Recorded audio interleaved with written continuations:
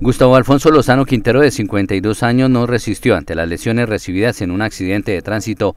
y falleció siendo atendido en el Hospital Emiro Quintero Cañizares, donde a pesar de los esfuerzos, nada se pudo hacer para sacarlo adelante por la gravedad de sus heridas.